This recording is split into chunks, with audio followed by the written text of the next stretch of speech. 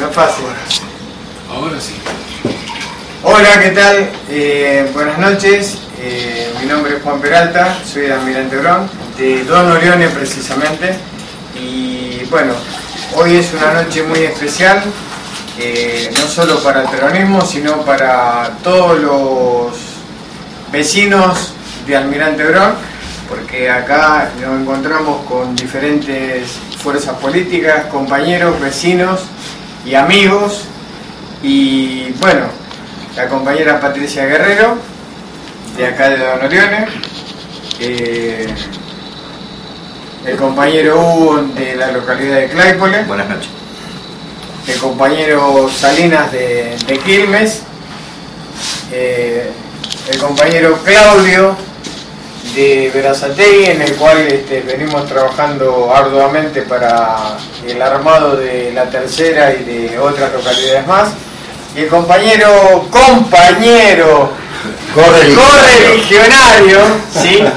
realmente es un orgullo y un placer eh, tenerlo presente hoy en este día.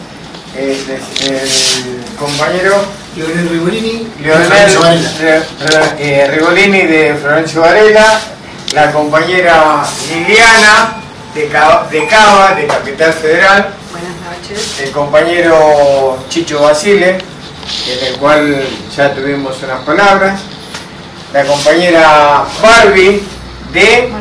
Florencia Varela. de Florencio Varela, el compañero Hugo de Florencio Varela. Hugo de Florencio Varela, el compañero Carlos. Ca- Carlos de, donde, De Capital. de Capital Federal. Y como postre, la, fru- la frutilla del postre, tenemos un viejo dirigente, militante, militantes, militantes, el compañero Diego Barredo.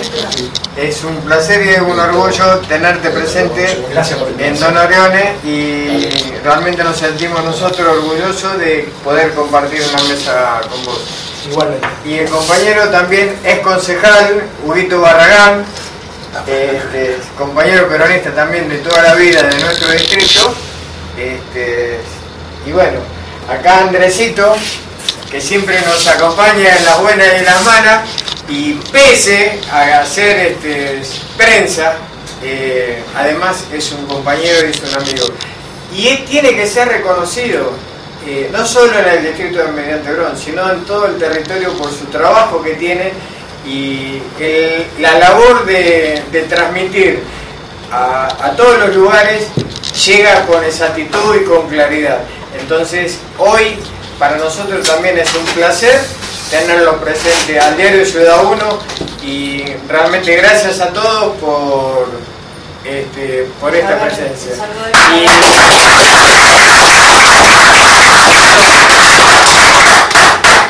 Aprovecho la oportunidad de poder saludarlo, ya que no lo podemos tener presente por, eh, por el COVID, al compañero Jorge Antonio Villaverde, en el cual este, siempre fue nuestro conductor, el que siempre nos abrió las puertas de la 8 de octubre, cuando las puertas del Consejo del Partido eh, la mantienen cerrada para los militantes y para los dirigentes.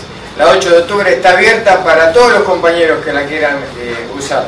Así que, eh, además, eh, quiero rendir un homenaje, eh, que en paz descanse, al compañero Héctor Flores, en el cual este, nos ha dejado un recuerdo imborrable.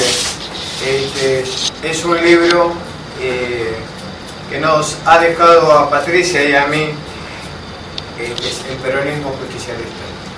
Este,